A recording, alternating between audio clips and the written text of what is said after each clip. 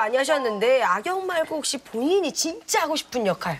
음, 전 평생을 통해서 멜로 비슷한 거를 한 두 편 정도 했어요.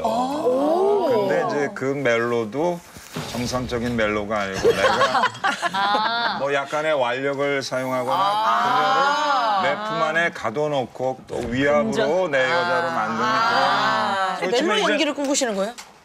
왜 안 되니? 아, 꿈인데 뭘 하든 상관없죠. 예. 아니 상대가 너만 아니네. 아이고 저도 사생활이다 보니까. 그냥, 그냥 저기 멜로라도 일반 통행 말고 쌍방 이 통행. 그러면은 이렇게 말 나온 김에 멜로의 달인이 있어요. 여기서 한번 꿈 좀 한번 이뤄봅시다. 봅시다. 한번 오늘 정영주 씨 이렇게 이재용 씨하고 만났으니까 오늘 여 앞에서 멜로 연기 한번 아, 이게 부담되실 멜로다 것 같아서. 한번 보여주세요. 사랑하지만 가질 수 없는 여자 정영주.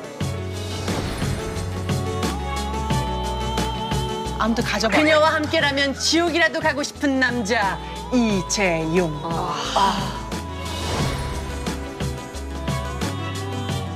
그가 오늘 그녀를 가지려 한다.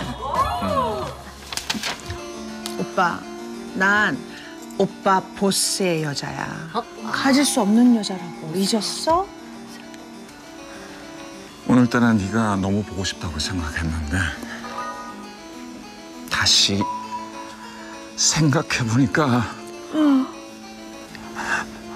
나 항상 네가 보고 싶었어.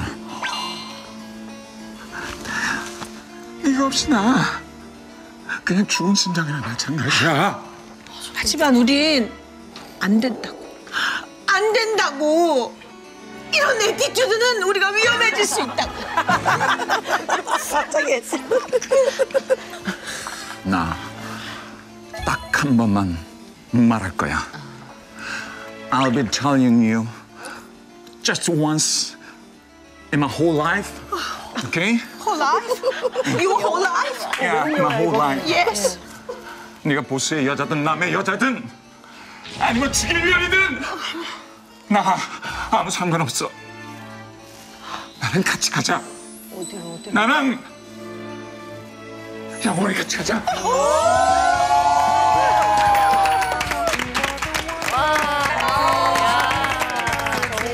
정말 뮤지컬처럼. 진짜.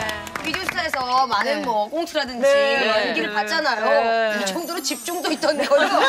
처음이에요. 이렇게.